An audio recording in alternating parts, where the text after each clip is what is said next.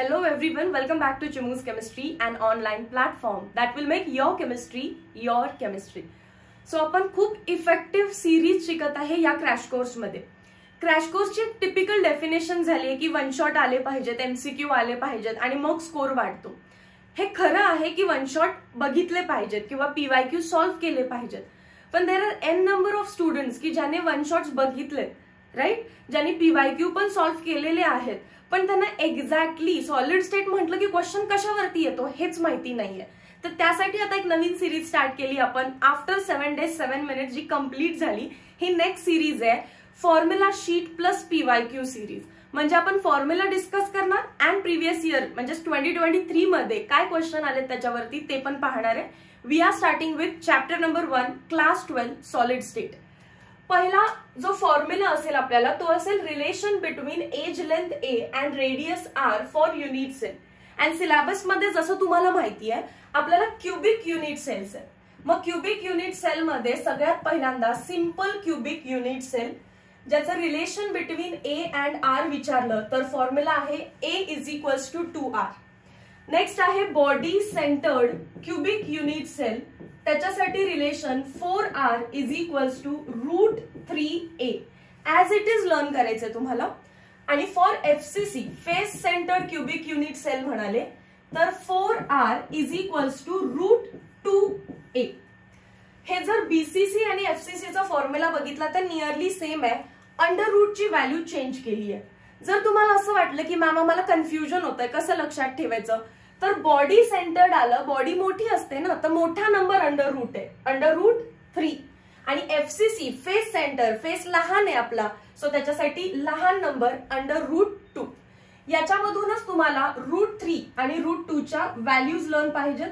Route three जर कुठे आलं तर तुम्हाला पुट करायचंय that is equals to one point seven three two आणि रूट टू कुठे जर आलं तर सबस्टिट्यूट आहे one point four one four याच्यावरती प्रिव्हियस इयर क्वेश्चन्स काय आहेत ते बघूया आपण.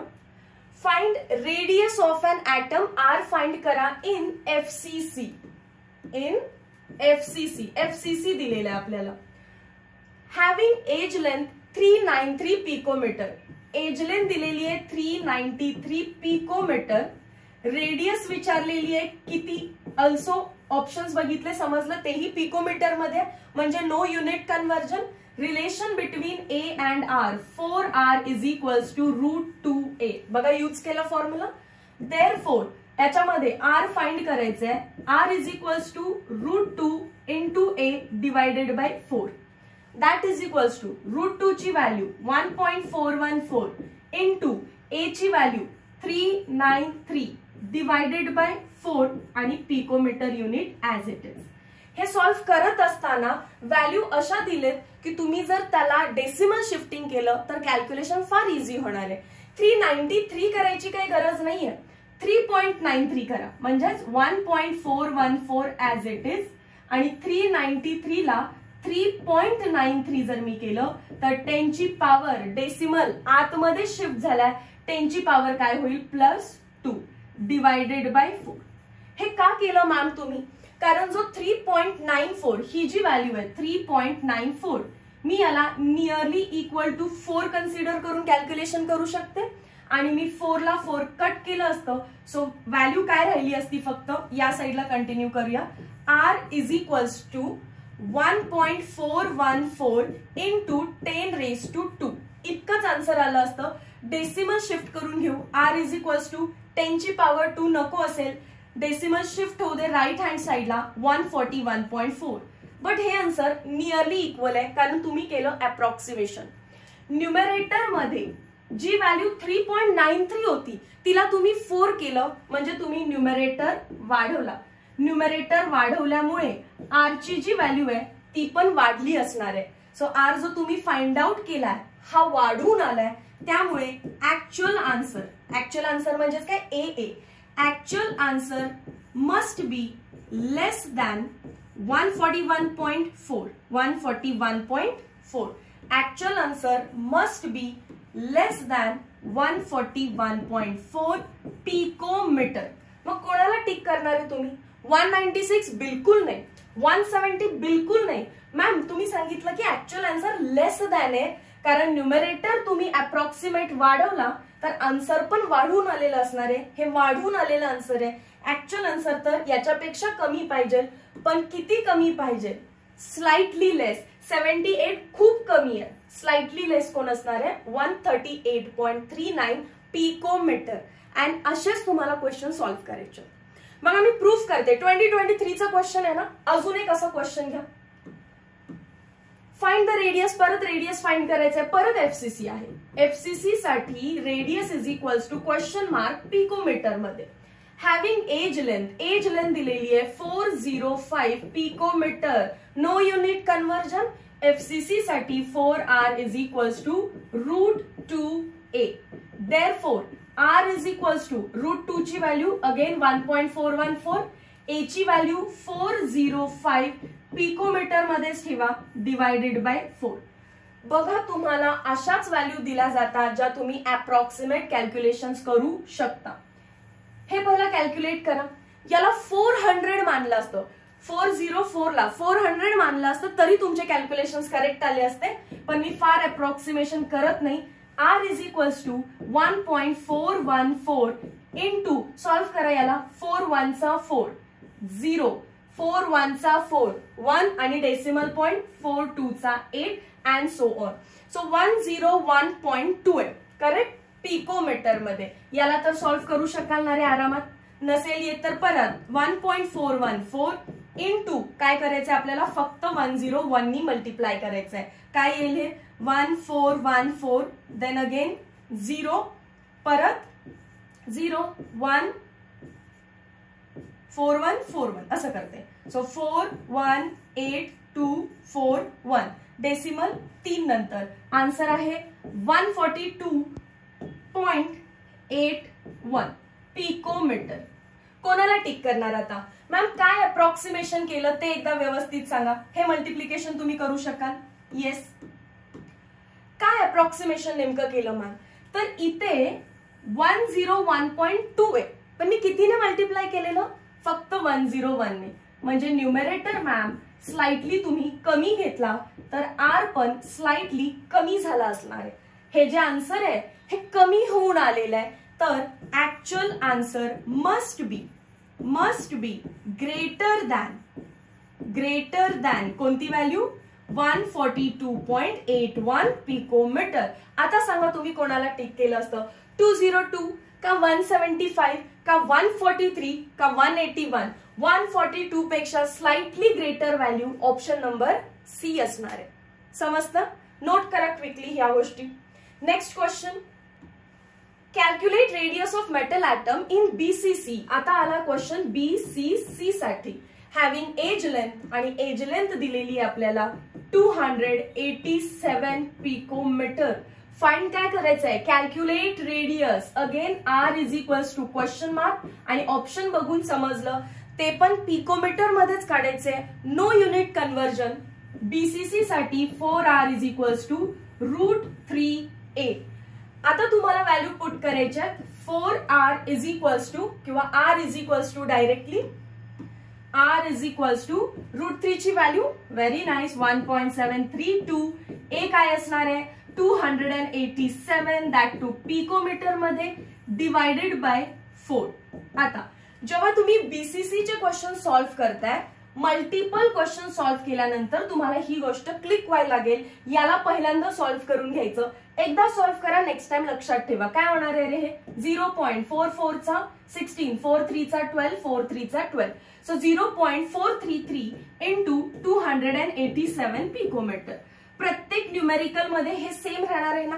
One point seven three two divided by four so तो किती असतो? Zero point four three three into two eighty seven again approximation करा. याला झिरो पॉईंट फोर नी सॉल्व्ह करा. Two hundred and eighty seven आहे. त्याला मल्टिप्लाय कितीने करूया? झिरो पॉईंट फोर थ्रीने करूया. झिरो पॉईंट फोर थ्रीने करूया. स्टार्ट याला तर तुम्ही करू शकता.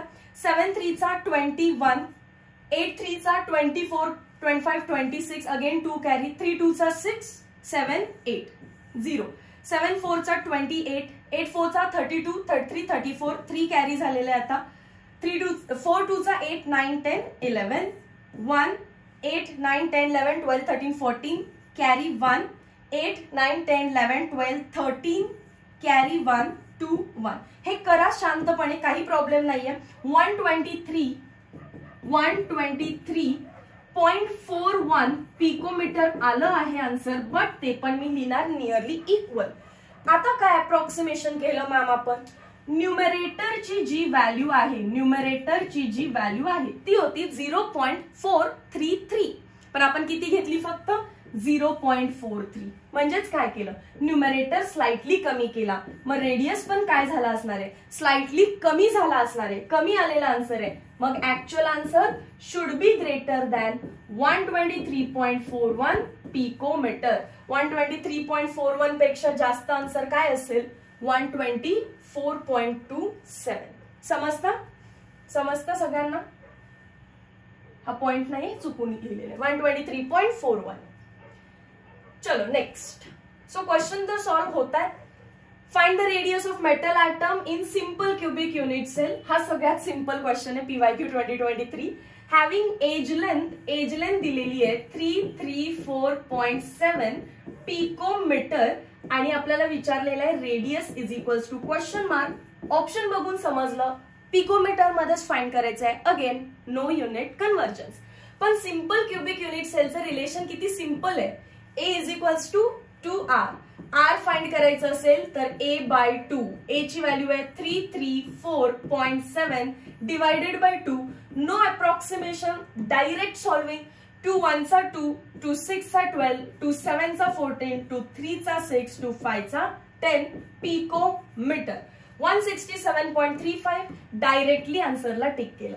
आणि हा क्वेश्चन राहील आता तुम्हाला homework so previous year question twenty twenty three मध्ये जेवढे काही क्वेश्चन्स आपल्या रिलेशन बिटवीन ए अँड आरमध्ये आलेले आहेत ते आपण सॉल्व्ह केले.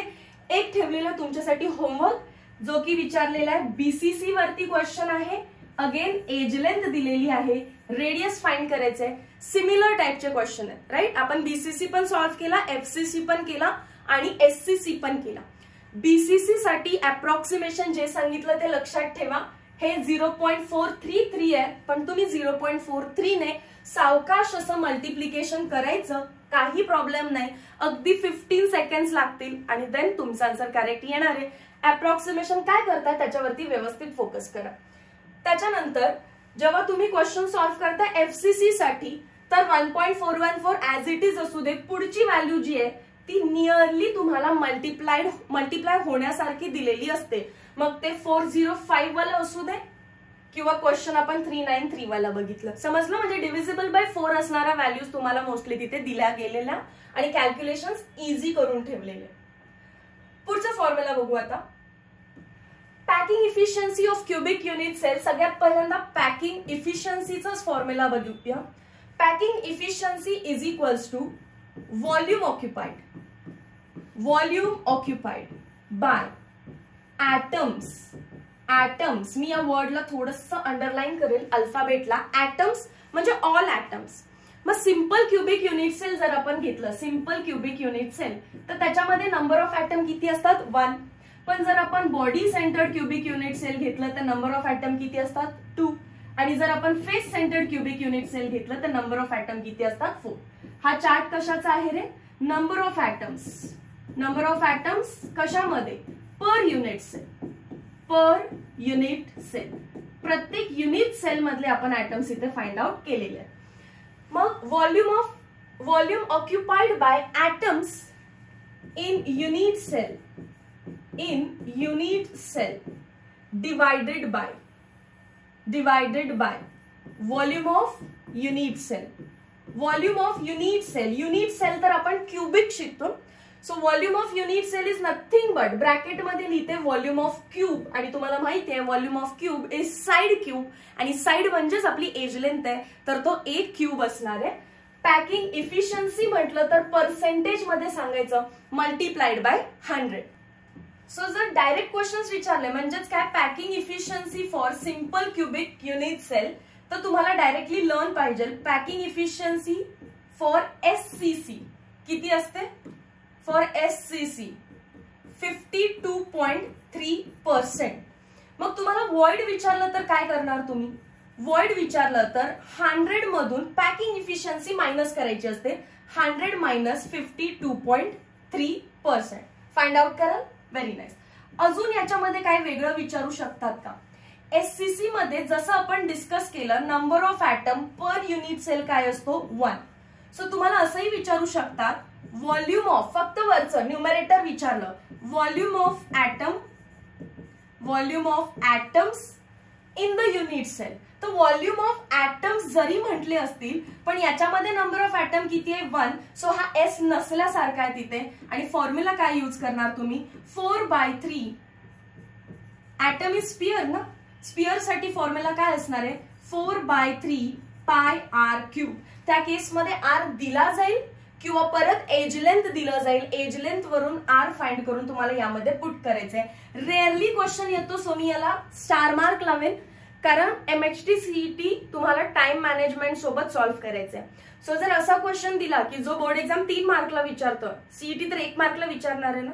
सो हे पॉसिबल नाहीये की तीन मार्कचं क्वेश्चन ते तुम्हाला एक मार्कमध्ये विचारतील. बट तरी विचारला तर कॅल्क्युलेशन फार सिंपल देणार. कट कट कट आणि आन्सर येणार आहे. ठीक आहे? म्हणून दिलं. Volume of atoms in unit cell विचारलं आणि युनिट सेल एफसीसी दिलाय. तर त्यामध्ये एकच ऍटम आहे आणि एका ऍटमचा व्हॉल्यूम हा four by three pi R cube असणार आहे.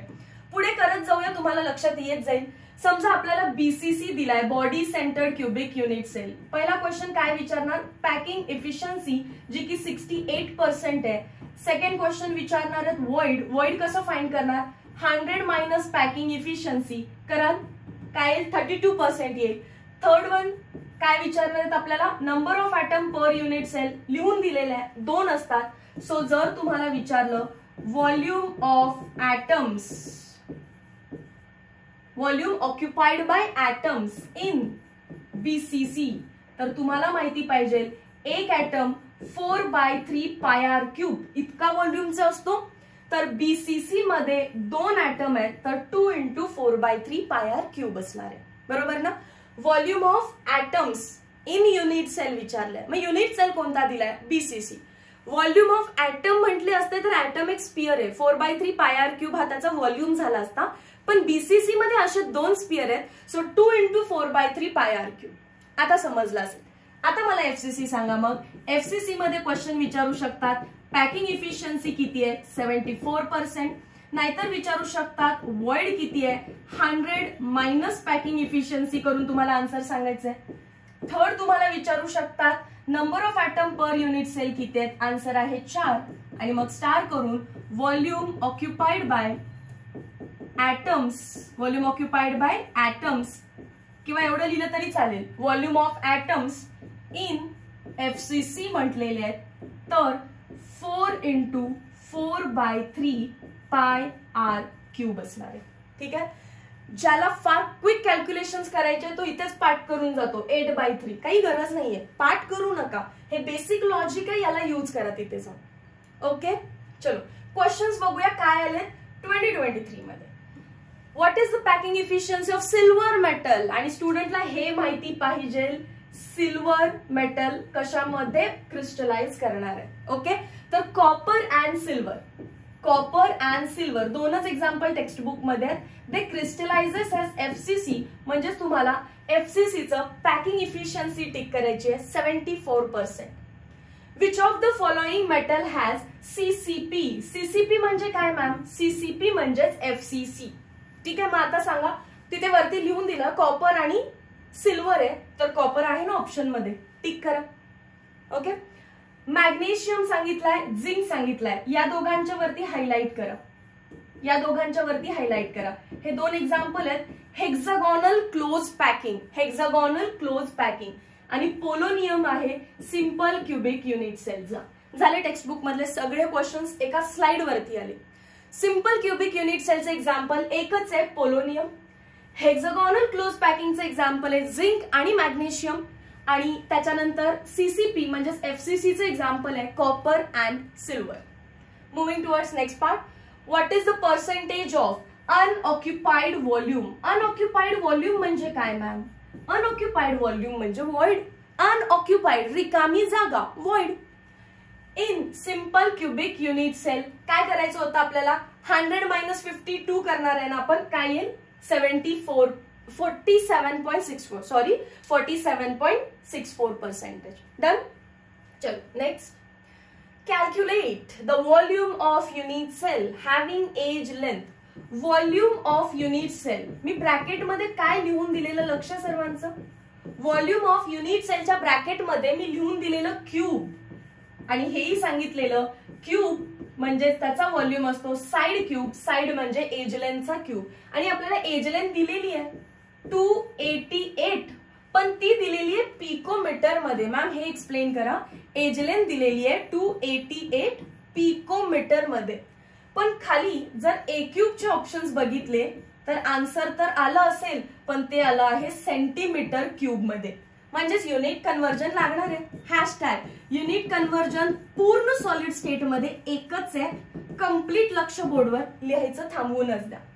जर कोणतीही व्हॅल्यू तुम्हाला एज लेंथ पिकोमीटरमध्ये दिली असेल टू एटी एट पिकोमीटर दोन्ही डेसिमल आत शिफ्ट करायचा. टू एटी एट नंतर डेसिमल असणार आहे ना? दोन्ही डेसिमल आत शिफ्ट करायचा म्हणा सगळेजण. दोन्ही डेसिमल आत शिफ्ट करायचा आणि टेनची पॉवर मायनस एट लावायचं. दोन्ही डेसिमल आत शिफ्ट करायचा आणि टेनची पॉवर मायनस एट लावायचं. आन्सर जातं सेंटीमीटरमध्ये. मग मॅम जर समजा आम्हाला एज लेंथ दिलेली आहे थ्री नाईन थ्री पिकोमीटर तर याचं सेंटीमीटर कसं होणार? दोन्ही डेसिमल आत शिफ्ट करायचा कारण थ्री नंतर डेसिमल असणार आहे आत घ्या. आणि टेनची पॉवर मायनस एटच लावायची. मग ते काय होईल? सेंटीमीटरमध्ये. मॅम अजून एक एक्झाम्पल चला घ्या. समजा एजलेन तुम्हाला दिलेलं आहे four zero eight point nine one picometre ठीक आहे? तर दोन्ही डेसिमल आज शिफ्ट करणार म्हणजे काय करणार? फोर झिरो फोर पॉईंट बरोबर ना? Zero eight nine one into टेनची power minus एटच लावायचं. आन्सर कशामध्ये जातं? सेंटीमीटरमध्ये सो ऑलवेज डेसिमल पॉईंट दोन्ही आज शिफ्ट करायचा आणि पक्का power ten raise to minus eight लावलं की आन्सर सेंटीमीटरमध्ये आणि पूर्ण सॉलिड स्टेटमध्ये पिकोमीटरचं तुम्हाला सेंटीमीटरच करायला लागेल. बाकी दुसरं काही नाही. ट्रस्ट मी ठीक आहे? चलो नेक्स्ट मग याचा अर्थ मला एज लेंथला असं लिहायला पाहिजे आता. Two point eight eight into ten raise to minus एटचा cube तर सेंटीमीटरचा पण क्यूब होईल आणि तो होईल सेंटीमीटर क्यूब आणि याला मला सॉल्व्ह करायला लागेल. बरोबर आहे ना? ह्याचा क्यूब केला तर सेंटीमीटरचा पण क्यूब करायला लागेल. हे प्रॅक्टिस एक्झाम्पल्स आहेत. याचा आणि न्यूमेरिकलचा काही संबंध नाहीये. इकडे आहे न्यूमेरिकल सो चला सॉल्व्ह करूया. आता याला टू पॉईंट एट एट ला सॉल्व्ह करायला मॅथ्सच्या स्टुडंट असाल समजा तर तुमच्याकडे ट्रिक्स पण असतील. पण आता नॉन मॅथ्सच्या स्टुडंटचा पण विचार करून जाऊया आपण की नेमकं ह्याला कसं सॉल्व्ह केलं असतं आपण. तर मी जर ह्याला थ्रीचा क्यूब केला असता थ्रीचा क्यूब तर माझा आन्सर पाहिजे होतं twenty seven into ten raise to minus eight ten raise to minus एटचा cube काय ना? Ten raise to minus twenty four पण मला ऑप्शनमध्ये सगळे काय दिसत आहेत ten raise to minus twenty three तर मला डेसिमल शिफ्ट पण करावा लागला असता. डेसिमल शिफ्ट करा आतमध्ये. Two point seven into ten raise to plus one झालं असतं म्हणजेच मायनस ट्वेंटी थ्री हे आन्सर आलं असतं. कधी? जर थ्री असतं इथे तर. या पोझिशनला थ्री असता तर. आहे का थ्री नाही. त्याच्यापेक्षा कमी आहे. म्हणजे जर मी इथे थ्री मानलं असतं मानून दाखवते या इकडे. नियरली इक्वल मी जर याला थ्री मानलं असतं मी रफ करणार आहे ही गोष्ट. बघून घ्या त्यामुळे आपण. जर मी याला थ्री मानलं असतं याचा अर्थ मी काय अप्रॉक्सिमेशन केलेलं आहे? तर मॅम जो न्युमेरेटर आहे ना तो ऍक्च्युअलमध्ये आहे टू पॉईंट एट पण तुम्ही घेतला थ्री म्हणजे तुम्ही न्युमेरेटर वाढवलं तर खूप जास्त डिफरन्स झाला असणार आहे तुमच्या ए क्यूबमध्ये. फाइंड काय करताय तुम्ही? आन्सर म्हणते मी. हा आन्सर पण काय झाला असता? वाढला असता. बरोबर आहे ना? पण ऍक्च्युअल व्हॅल्यू कमी असल्यामुळे ऍक्च्युअल आन्सर पण कमी पाहिजे. सो याच्यापेक्षा actual answer should be less than two point seven into ten raise to minus twenty three याच्यापेक्षा कमी आन्सरला टिक करायचंय मला. टू पॉईंट सेव्हनपेक्षा कमी आन्सर कुठे दिसतंय? तर टू पॉईंट थ्री नाईन हे पण कमीच आहे. टू पॉईंट झिरो टू हे पण कमी आहे. हे खूप कमी आहे. ठीक आहे? हे खूप कमी आहे. आणि हे खूप जास्त आहे. आता तो दोन व्हॅल्यूजमध्ये काही कन्फ्युजन असेल तरी पण तुम्हाला नियरेस्ट व्हॅल्यू टिक करावी लागेल ना. कारण टू पॉईंट एटचा मी थ्री केलेला आहे. टू पॉईंट एटचा थ्री केलेला आहे. तो स्लाइट चेंज आहे तो. त्याच्यामुळे टू पॉईंट सेव्हनपेक्षा कमी व्हॅल्यू कोण असणार आहे? टू पॉईंट थ्री नाईन हा अगेन खूप जास्त कमी आहे. टू पॉईंट झिरो टू खूप जास्त कमी आहे. सो मी त्याला पण कट करून घेते. समजलं? एकतर अशा अप्रॉक्सिमेशननी आपण सॉल्व्ह केलं असतं. नाहीतर काय पर्याय नसता. तर टू पॉईंट एट घेतलं असतं. त्याचा स्क्वेअर केला असता पहिला. आलेल्या आन्सरला परत टू पॉईंट एटनी मल्टिप्लाय केलं असतं. अँड देन फाइंड आउट केलं असतं. बट ओके याने पण तुमचं आन्सर येऊन गेलं असतं. समजलं ना? टू पॉईंट एटच्या ऐवजी मी थ्रीने कॅल्क्युलेशन केले. न्युमेरेटर वाढवला. सो माझा आन्सर पण वाढून आलेला आहे. Actual answer should be less than two point seven two point three nine so I hope तुम्हाला समजतंय. ही सॉलिड स्टेट किंवा केमिस्ट्रीमध्ये पूर्ण पेपरमध्ये पन्नास क्वेश्चन असणार आहेत ना? ते सगळे पन्नास क्वेश्चन काही न्यूमेरिकल असतात का आपल्याला? तर नाही ma'am hardly seven question numerical असणार आहेत. किती? सेव्हन क्वेश्चन न्यूमेरिकल टाईपचे असणार आहेत. पण त्यात पण असं नाहीये की तुम्हाला अॅक्युरेट आन्सर काढायचे जसं तुम्ही बोर्ड एक्झाम्सला काढत होता. पूर्ण डेसिमल वगैरे करेक्ट आलं पाहिजे. मी जेवढे क्वेश्चन सॉल्व्ह केलेत ना माझं करेक्ट आन्सर कुठेच मॅच झालेलं नाहीये. पण मी अप्रॉक्सिमेशन करतेय कारण केमिस्ट्रीचे चारही ऑप्शन्स फार लांब लांबचे असतात. आणि लांब लांबचे असल्यामुळे मला अप्रॉक्सिमेशन करून आन्सर टिक करता येतं. करेक्ट केमिस्ट्रीसाठी तुम्ही मॅथमॅटिकल स्ट्रॅटेजी ही यूज करू शकता बिंदास्तपणे याच्यावरती रिलायबल राहू शकता. तुम्ही मॅथ्सचे स्टुडंट असाल आणि तुमचं कॅल्क्युलेशन फारच चांगल्या लेवलचं असेल तर गो फॉर इट तेव्हा तुम्ही मलाही फॉलो नाही केलं तरी चालेल. पण आधी अगदी साधे सुद्धा कॅल्क्युलेशन्स येत आहेत आणि हाय कॅल्क्युलेशन्सला घाबरणारी जी मुलं आहेत can definitely follow this easy आहे की नाही? चॅट सेक्शनमध्ये मला नक्की सांगा. पुढचा काय फॉर्म्युला शीट आहे ते एकदा बघून घेऊयात. Start density of unit cell आहे आणि खूप सारे क्वेश्चन येतात याच्यावर.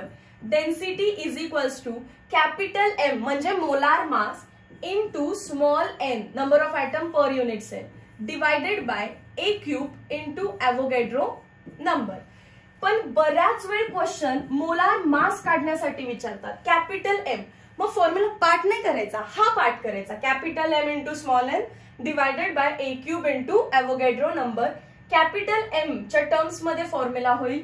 Density into A cube into Avogadro number divided by N आणि एन काय आहे? हे क्वेश्चनमध्ये गिवन असणार आहे.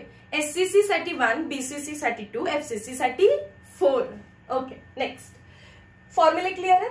बघा क्वेश्चन कशात अगेन पीवाय क्यू घेतलेत आपण ट्वेंटी ट्वेंटी थ्रीचे कॅल्क्युलेट मोलार मास बघा सांगितलं ना मोलार मास विचारतायत. मग आताच आपण फॉर्म्युला लिहिलेलं आहे.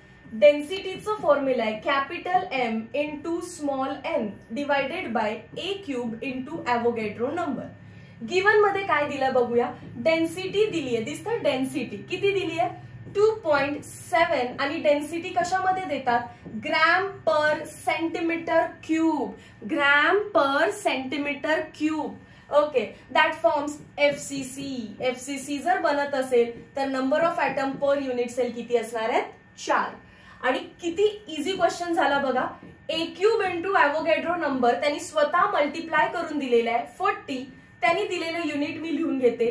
सेंटीमीटर क्यूब मोल इनवर्स आणि इथे समजतं gram per centimetre cube. Per centimetre क्यूबला मी असंही लिहू शकते ना? आणि इथे बघून कळत असेल centimetre cube per centimetre cube cut होणार आहे.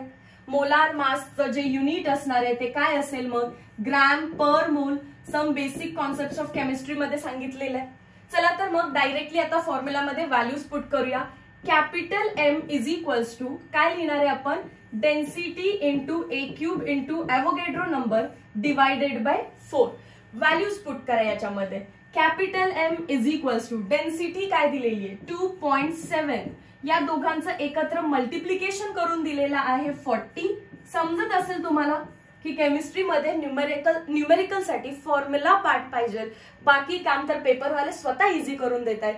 A cube into N A दिलेला आहे फोर्टी आणि एफसीसी दिला तर खाली काय येणार आहे परत? फोर आणि डायरेक्टली कट होऊन जाईल हे? टेनचा two point seven into ten काय आला answer twenty seven gram per mole कोणत्या ऑप्शनला टिक करणार तुम्ही? ऑप्शन नंबर सी ला. नेक्स्ट क्वेश्चन बघूया. मॅम तो इझी असेल माइट बी पुढचा डिफिकल्ट असेल. अगेन ट्वेंटी ट्वेंटी थ्रीचे सगळे पीवाय क्यू आहेत. Find type of unit cell if it's volume unit सेलचा volume unit cell म्हटलं की तुम्ही क्यूब इमॅजिन करायचा. क्यूबचा व्हॉल्यूम म्हणजेच ए क्यूब ऑलरेडी डिस्कस केला A cube ten raise to six point six four into ten raise to minus twenty three centimetre cube आहे. Density दिलेली आहे two point seven gram per centimetre cube हे solve करा. तुम्ही लिहित बसा म्हणजे तुम्हाला परफेक्टली कळेल हा ma'am density gram per centimetre क्यूबमध्ये येते. आणि molar mass twenty seven gram per mole okay काय विचारलेलं आपल्याला? Type of unit cell type of unit cell म्हणजेच एन विचारताय. एफ सी सी आहे बीसीसी आहे की एस सी सी आहे? कसं सॉल्व्ह करायचं? Again density is equals to capital M into small N divided by A cube into Avogadro number एनच्या टर्म्समध्ये formula लिहा. N is equals to density into A cube into Avogadro number divided by N therefore N is equals to density दिले yes two point seven A cube दिलेला आहे six point six four into ten raise to minus twenty three Avogadro नंबरची value part असेल ना? Six into ten raise to twenty three whole divided by molar mass किती दिलेला आहे? Twenty सेवन solve करूया या पार्टला आता मी ट्वेंटी सेव्हनला पहिला ट्वेंटी सेव्हन कट करून घेते. So N is equals to काय येणार आहे तो? येस तो ट्वेंटी सेव्हन नाही ऍक्च्युली टू पॉईंट सेव्हन आहे. म्हणजे twenty seven into ten raise to power minus one that is zero point one किंवा directly ten raise to power minus one लिहिते. Into six point six four into हा six आधी लिहिते. आणि ten raise to minus twenty थ्रीला plus twenty three cut करून टाकते. N is equals to six ने मल्टिप्लाय करणं काही डिफिकल्ट आहे का? नाही मॅम मॅम एनएची तर value six point zero two two असते. सीईटी मध्ये सिक्स युज केलं तरी आन्सर येणार आहे. Six four sum twenty four. Six six thirty six thirty seven thirty eight. Three carry आला आता. Thirty six thirty seven thirty eight thirty nine okay decimal point किती नंतर द्यायचा आहे एक नंतर. सॉरी दोन नंतर. आधी सिंपल वेजने जाऊ. दोन दिसत आहेत मॅम दोन नंतर. आणि मग पॉवर आधी लिहून घेणार आहे मी. Ten raise to power minus one तुम्हाला पॉवर नको असेल. पॉवर कोणती आहे? मायनस वन मायनस वन नको आहे तर यात मला काय करावं लागेल रे? Plus one. डेसिमल कुठे शिफ्ट होणार आहे मग? डेसिमल आतल्या साईडला शिफ्ट होणार म्हणजेच three point nine eight four आणि डेसिमल गेला. जर तुम्हाला हे समजत नसेल डेसिमल शिफ्टिंग तर मला चॅट सेक्शनमध्ये सांगा तेही आपण क्लिअर करून घेऊ. मग एनची व्हॅल्यू थ्री पॉईंट नाईन ला मी फोर लिहू शकते की नाही? आणि फोर म्हणजेच हा कोण आहे? मॅम हा एफ सी सी आहे. Face centred cubic unit cell आहे. डन नेक्स्ट क्वेश्चन काय विचारलंय? Calculate volume of unit cell volume of unit cell unit cell म्हटलं की क्यूब आणि व्हॉल्यूम ऑफ युनिट सेल म्हटलं तर A cube is equals to question mark if an element having molar mass दिलेला आहे fifty six gram per मोल लिहिलंय का बघायचं? लिहिलेलं आहे. दॅट फॉर्म्स बीसीसी बीसीसी साठी स्मॉल एन ची व्हॅल्यू टू आलेली आहे. आणि डेन्सिटी इंटू अॅव्होगॅड्रो नंबर हे बघा डेन्सिटीचा सिम्बॉल येतो. डेन्सिटी इंटू अॅव्होगॅड्रो नंबर दिलेला आहे. Four point eight into ten raise to twenty four दोघांचं मल्टिप्लिकेशन केलं की युनिट काय येतं? Gram per centimetre cube per mole gram per centimetre cube per mole done तसं पाहायला गेलं ना तर हे जे युनिट आहे डेन्सिटी इंटू अॅव्होगॅड्रो नंबर त्याच्यावर कोणी थिंक पण केलं नसेल. आपण एकदा चेक करूया. डेन्सिटी इंटू अॅव्होगॅड्रो नंबरचं युनिट डेन्सिटीचं युनिट काय सांगितलेलं? ग्रॅम पर सेंटीमीटर क्यूब आणि ॲवोगेड्रो नंबरचं युनिट काय असतं? Mole inverse so gram per centimetre cube mole inverse हे तिथून आलेलं आहे. Density gram per centimetre cube आणि ॲवोगेड्रो नंबरचं युनिट बऱ्यापैकी स्टुडंटला माहिती नसतं. ॲवोगेड्रो नंबर फक्त एवढंच माहिती असतं. Six point zero two two into ten raise to twenty three but that is per mole ठीक आहे? एका मोलमध्ये किती ऍटम्स आहेत? एवढे. मग वन मोल म्हणजे पर मोलची व्हॅल्यू असते. चलो. सो युनिट तर करेक्ट आहे. हे कन्फर्मेशन करावं लागतं बेसिकली आणि त्याच्यानंतर ऍज अ स्टुडंट तुम्ही नाही केलं तरी चालेल. मला जायचं आता पुढे. काय फाइंड करायचं होतं ना calculate volume a cube find करायचं ए क्यूब हे रफ करू मी आता. ऍक्च्युली एनएचं युनिट काय आहे हे सांगायचं होतं. फॉर दॅट पर्पज मी हे लिहिलेलं आहे. अवोगॅड्रो नंबरचं युनिट असतं पर मोल स्टार्ट करू आता. Density is equals to capital M into small n divided by a cube into N A formula a पण न्यूमेरिकल किती डिफरंट टाइपमध्ये आले ते तुमच्या समोरच आहे. ए क्यूब ए क्यूबच्या टर्म्समध्ये फॉर्म्युला काय होईल? मग हा a cube is equals to capital M into small n divided by density into Avogadro number चला सॉल्व्ह करूया. कॅपिटल एम तर आहे फिफ्टी सिक्स आणि एन आहे two divided by density into Avogadro number म्हणजे डायरेक्ट व्हॅल्यू दिलेली आहे four point eight into ten raise to twenty four समजा तुम्हाला डेसिमल नको आहे तर तुम्ही शिफ्ट करा टुवर्ड्स राईट हँड साईड तर पॉवर एकनी कमी होईल इकडे. Fifty six into two divided by forty eight केलं तर टेनची पॉवर किती होणार आहे? ट्वेंटी थ्री परत आपण त्याला वरती नेऊया. पण इथे पहिला टू वनचा टू टू टूचा फोर टू फोरचा एट राहिलं काय? डायरेक्टली लिहिते fifty six divided by twenty four ही एक टर्म आहे. Into ten raise to minus twenty three अजून सिम्प्लिफाईड करायचं आहे अजून सिम्प्लिफाईड करा. टू वनचा टू टू टूचा फोर टू टूचा four two एटचा sixteen twenty eight divided by twelve कारण आता ट्वेल्वचा टेबल तर येतच असणार आहे. Ten raise to minus twenty three twelve टूचा twenty four point twenty four म्हणजे फोर कॅरी झिरो येणार आहे. ट्वेल्व थ्रीचा थर्टी सिक्स परत फोर झिरो परत twelve थ्रीचा thirty six and so on टेनची power minus twenty three विचारलेला आहे व्हॉल्यूम आणि व्हॉल्यूमचं युनिट काय असतं? Centimetre cube. So two point three three three three recurring येणार आहे. कोणतं ऑप्शन मॅच करेल? ऑप्शन नंबर डी ला. डन सिंपल आहे. सो फॉर्म्युला एकच. Density is equals to capital M into small n divided by a cube into Avogadro number but वेगवेगळ्या टाईपचे question बघितले.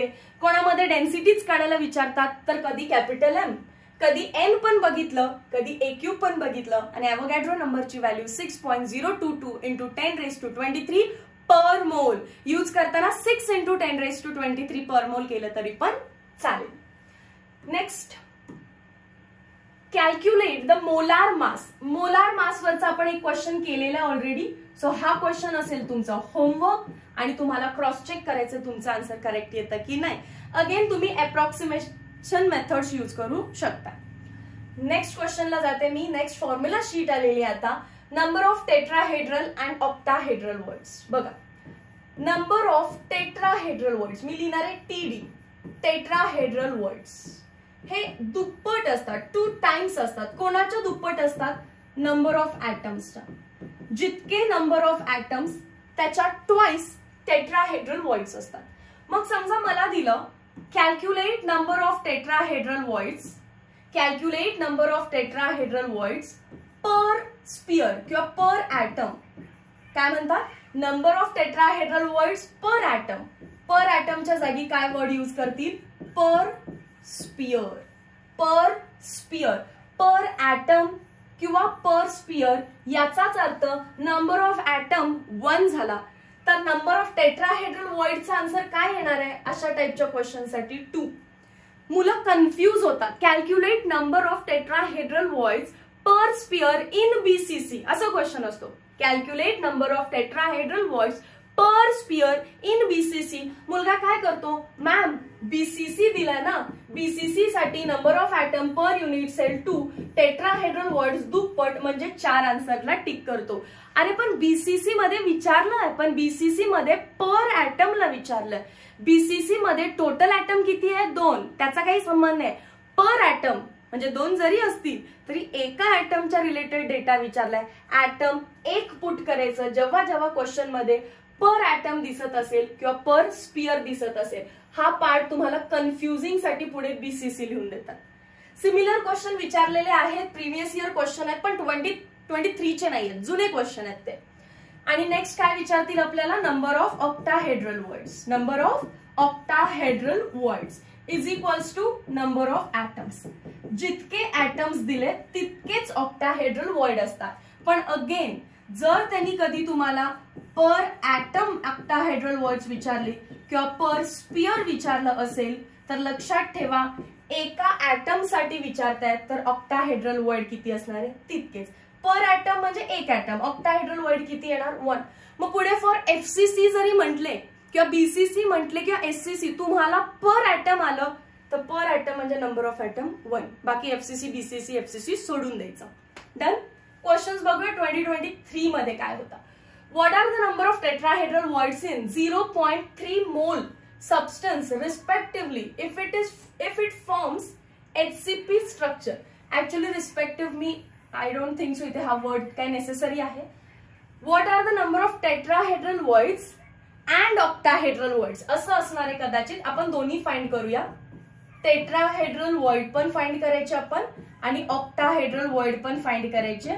मग ह्या वर्डला थोडंसं मिनिंग येईल रिस्पेक्टिव्हली आधी टेट्राहेड्रल अँड मग octahedral when it forms hexagonal close packing hexagonal close पॅकिंगसाठी number of atom per unit cell six असतो.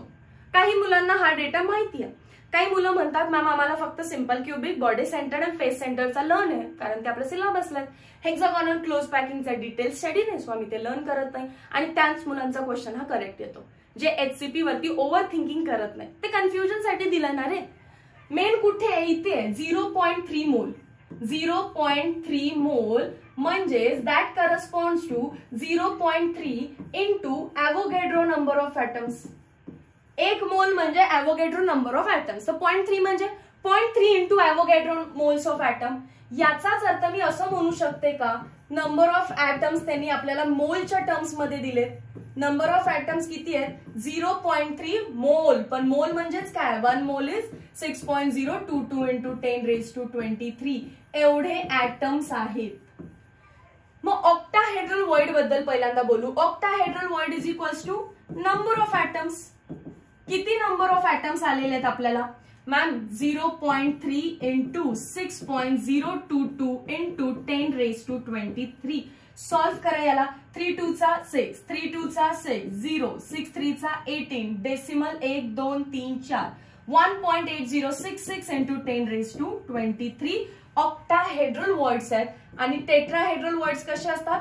Two into number of atoms दुप्पट असतात number of ऍटम्सच्या that is equals to two into number of atoms इथे आहे. Two into zero point three into six point zero two two into ten raise to twenty three options फार simple होते but मी उगाच टायपिंगमध्ये time waste केलेला नाहीये. याला सॉल्व्ह करा. काय येणार आहे? Two into zero point three that is zero point six into six point zero two two into ten raise to twenty three literally option पाहिले असते तर एवढं सॉल्व्ह करायची पण गरज नव्हती. सिक्स टू चा ट्वेल्व सिक्स टू चा twelve plus one thirteen six six चा थर्टी सिक्स डेसिमल तीन आणि एक चार डिजिट नंतर into ten raise to twenty three ऍक्च्युअलमध्ये याचं डबल केलं असतं तरी चाललं असतं. ठीक आहे? पण मी तरी पूर्ण सॉल्व्ह केलेलं आहे. रिस्पेक्टिव्हली विचारलेलं आहे त्यामुळे पहिला tetrahedral voids three point six in three point six into ten raise to twenty three एवढंही चाललं असतं. आणि octahedral voids one point eight into ten raise to twenty three आणि यामध्ये पण cherry on the cake total number of voids असा जर question आला असता टोटल नंबर ऑफ वर्ड्स तर तुम्हाला टेट्राहेड्रल प्लस ऑप्टाहेड्रल वर्ड्स करून मग आन्सर टिक करावं लागलं असतं. ओके नेक्स्ट नेक्स्ट क्वेश्चन आहे what is number of tetrahedral word in बघा zero point six mole compound that forms CCP त्याला विसरा. सीसीपी वगैरे फसवण्यासाठी दिलेले आहे. झिरो पॉईंट सिक्स मोल म्हणतायत. म्हणजेच नंबर ऑफ ऍटम्स दिलेत. नंबर ऑफ ऍटम्स किती असणार आहेत? Zero point six into Avogadro number पहिला परत एकदा बघा काय विचारलंय? Tetrahedral voids so number of tetrahedral voids दुप्पट. Two into number of atoms किती आहे? Zero point six into Avogadro number six into ten raise to twenty three लिहिलं तरी पण चालेल. सो याला सॉल्व्ह करूया आपण. हे किती येणार आहे? Six six thirty six so two into three point six into ten raise to twenty three thirty six two चा seventy two seven point two into ten raise to twenty three कुठल्या ऑप्शनला tick कराल? Option number C ला. Clear झालं point next आता textbook मधलेच हे तीन फॉर्म्युले number of atom in x gram लिहिते मी परत. नंबर ऑफ ऍटम्स विचारले. In x gram twenty twenty two मध्ये ह्या तीन फॉर्म्युलावरती भरपूर क्वेश्चन त्यांनी विचारलेले. ट्वेंटी ट्वेंटी थ्री मध्ये डेन्सिटी वरती जास्त क्वेश्चन झालेले. आता जेव्हा जेव्हा हे असं काहीतरी येईल number of atom in x gram number of unit cell in x gram number of unit cell in V volume तर आधी एक्स ग्रॅमसाठी सांगते. एक्स ग्रॅमसाठी एक कार्टून तयार करते मी इथे. दिस इज क्राईंग कार्टून आणि हा आहे क्यूब क्राय करतोय म्हणजे हिंदीमध्ये काय करतोय? मराठीत रडतोय. रे हिंदीमध्ये काय करतोय रो. रोए. क्यूब काय करतोय तो? रो करतोय. आता रो नाही रडतोय खरं तर. म्हणायला कसं पाहिजे आपण? रोए क्यूब. रोए क्यूब. तो क्यूब काय करतोय? रडतोय. रोए क्यूब. समजलं असेल ना? हा. मग या. आता काय करायचंय मॅम? ह्याचा यूज काय करायचंय पहिल्यांदा? तर number of atom in x gram म्हटलेत ना तर तुम्ही पहिला ऍज इट इज एक्स लिहायचं. आणि त्याचा डिनॉमिनेटर काय आहे? बऱ्याचशाच मुलांना लक्षात राहत नाही. म्हणून कार्टून बनवलं cube रडतोय. Rho a cube rho a cube rho a cube rho a cube ठीक आहे? आणि नंबर ऑफ ऍटम्स विचारलेला आहे. ऍटम्स विचारलं असेल तर मल्टिप्लाय बाय एन करायला विसरायचं नाही. Number of unit cell in x gram ma'am परत एक्स ग्रॅम आलं. Number of unit cells in x gram जेव्हा जेव्हा इथे एक्स दिसतं तुम्हाला तेव्हा तेव्हा तुम्ही पुढे एक्स लिहून घ्यायचा. डिनॉमिनेटर कन्फ्यूज झाला तर क्यूबला रडवायचं. Rho a cube right x आलं तर क्यूबला रडवायचा. रो ए क्यूब फक्त इथे काय लिहिलेलं आहे? युनिट सेल युनिट सेल तर फुल स्टॉप काहीच करायचं नाही. ऍटम्स लिहिलं असतं तरच एन कारण नंबर ऑफ ऍटम्स आपण एननी रिप्रेझेंट करतो. तसं युनिट सेलला काही रिप्रेझेंटेशन नाही फॉर्म्युला एवढाच आहे x upon rho a cube number of atoms आला तर x upon rho a cube multiplied by n आता व्हॉल्यूम आलं तर क्यूबला रडवायचा नाही रे बाबा. हे क्यूबला रडवण्याचं काम तेव्हाच करायचं जेव्हा एक्स येतो. एक्स येतो बाकी कधीच नाही. नंबर ऑफ युनिट सेलच विचारलेले आहेत आपल्याला? नंबर ऑफ युनिट सेल्सच विचारलेले आहेत. बट व्ही व्हॉल्यूममध्ये व्ही व्हॉल्यूममध्ये. तर आपण काय करायचं बेसिकली त्यांनी जो दिलेला व्हॉल्यूम आहे व्ही तो आधी लिहून घ्यायचा. जसं एक्स दिलं एक्स लिहिलं एक्स दिलं एक्स लिहिलं व्ही दिला व्ही लिहायचं. आणि आपल्याला माहिती असणारा क्यूबचा व्हॉल्यूम ए क्यूब झाले तीन फॉर्म्युले क्वेश्चन्स बघूया काय आता. हा क्वेश्चन बघा बेसिकली ते तिन्हीपैकी कुठलाही फॉर्म्युला यूज करणार नाहीये पण लॉजिक आहे क्वेश्चनमध्ये.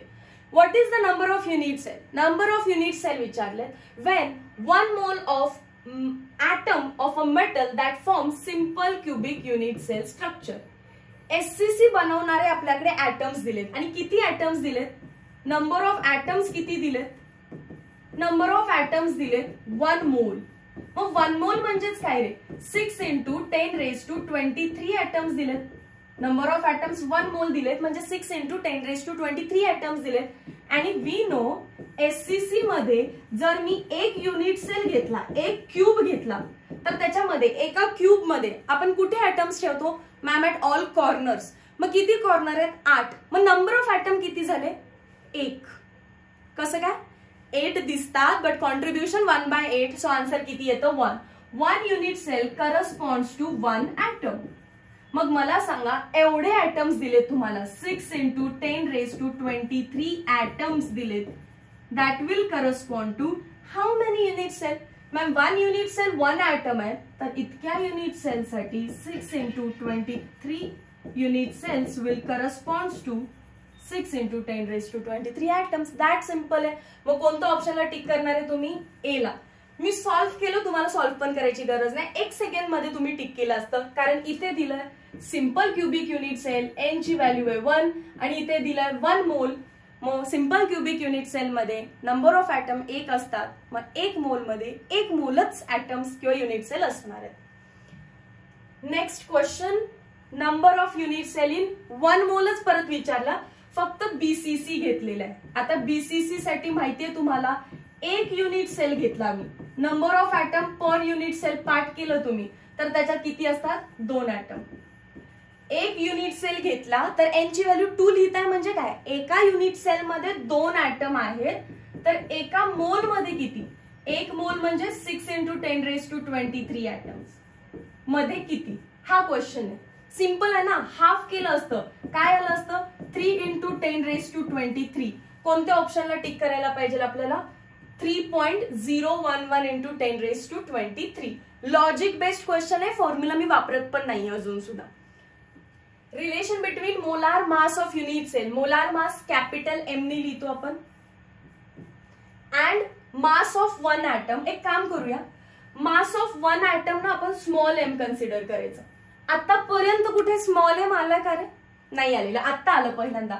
So capital M is equals to small m into n small m into small n हा फॉर्म्युला लक्षात ठेवा.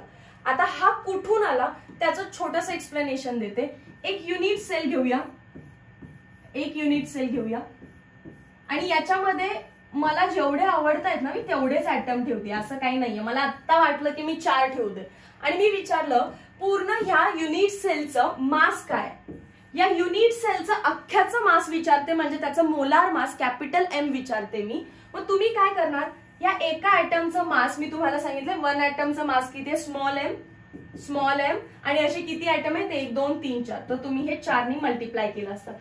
चारनी नाही ऍक्च्युली कॉन्ट्रीब्युशन वगैरे करून केलं असतं. जस्ट मी एक बेसिक एक्झाम्पल सांगते की अख्ख्याचं काहीच दुसरं काहीच नाहीये. शेअरिंग वगैरे काहीच नाहीये. शेअरिंग वगैरे काहीच नाही अशी कंडिशन आहे.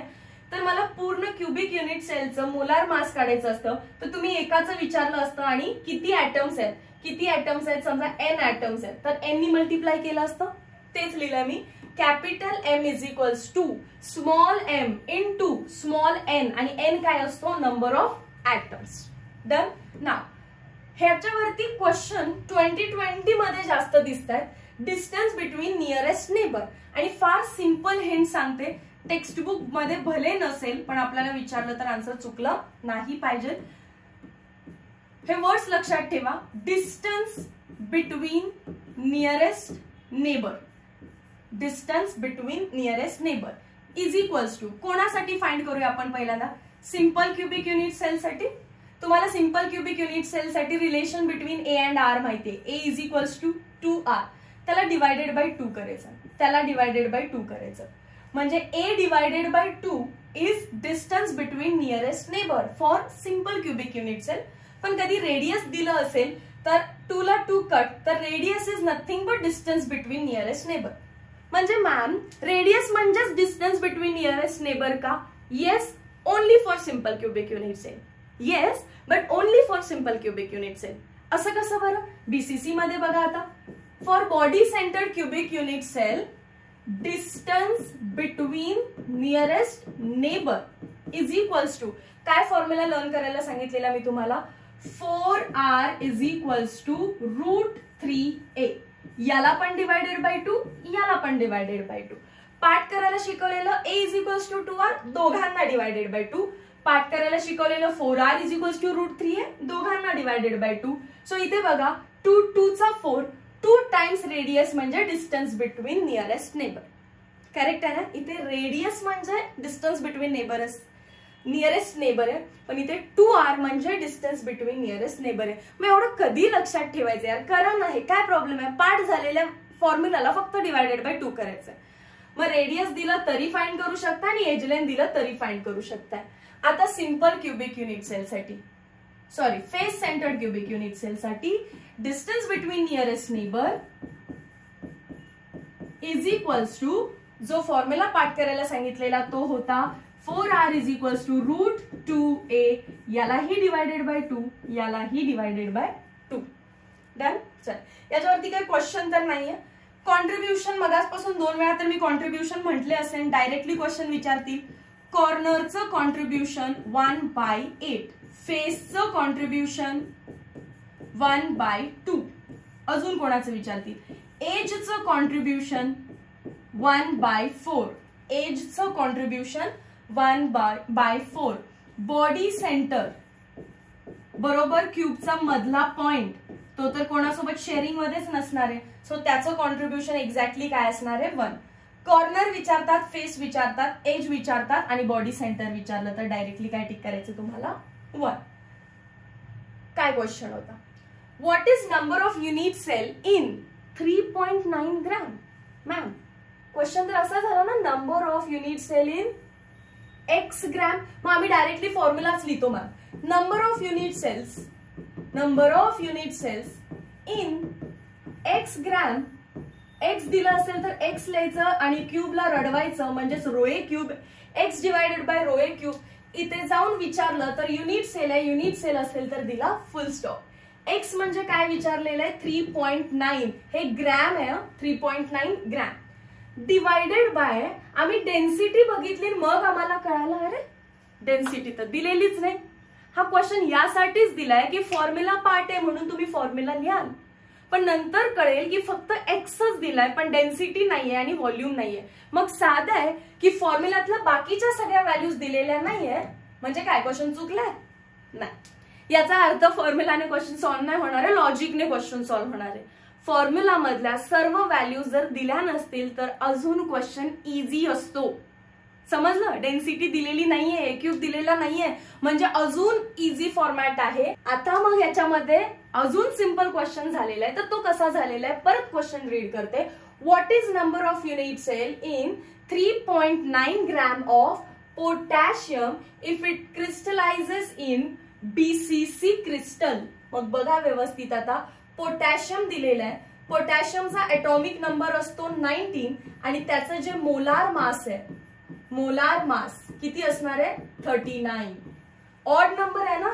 ऑड नंबरसाठी multiply by two nineteen टूचा thirty eight plus one odd नंबरसाठी multiply by two plus one thirty nine gram per mole आलं. म्हणजेच ते काय सांगतायत? की जर तुम्ही थर्टी नाईन ग्रॅम पर मोल इतक्या पोटॅशियमच्या मासबद्दल बोलताय म्हणजेच तुम्ही वन मोलबद्दल बोलताय. वन मोल पोटॅशियमबद्दल बोलताय मोलार मास म्हणजे. आणि म्हणजेच तुम्ही Avogadro number of atoms of पोटॅशियमबद्दल बोलताय. ठीक आहे? आता बघा मग मला नंबर ऑफ ऍटम्स पहिल्यांदा फाइंड आउट करू दे. कसं फाइंड करणार आहे रे आपण?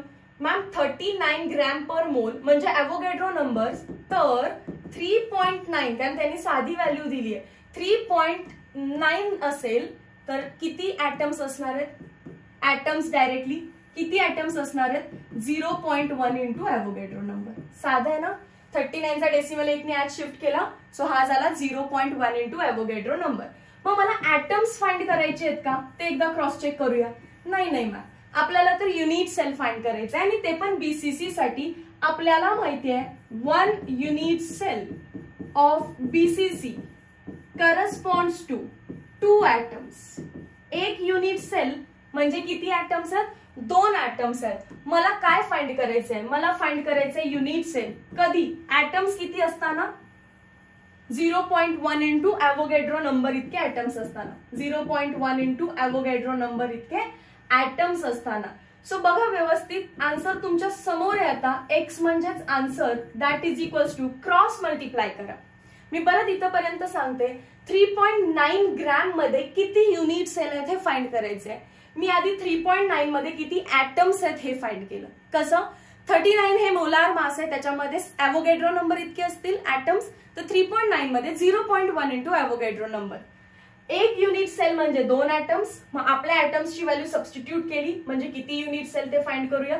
Zero point one multiplied by Avogadro number आणि हे काय येणार आहे? डिवायडेड बाय टू असं ऑप्शन आहे का कुठे? नाहीये. देन देन मॅथ्स याला ना ten raise to power minus one imagine करताय ना? झिरो पॉईंट वन खाली आणा काय होईल तो? Ten raise to power plus one म्हणजेच twenty Avogadro number divided by twenty कोणत्या ऑप्शनला टिक करणार तुम्ही? ऑप्शन नंबर ए ला. क्लिअर चल. मॅग्नेटिक प्रॉपर्टीज हा काही कॅल्क्युलेशनचा पार्ट नाहीये. मुद्दामून दिलेला आहे. व्हॅल्यूज नाहीयेत कुठल्याही.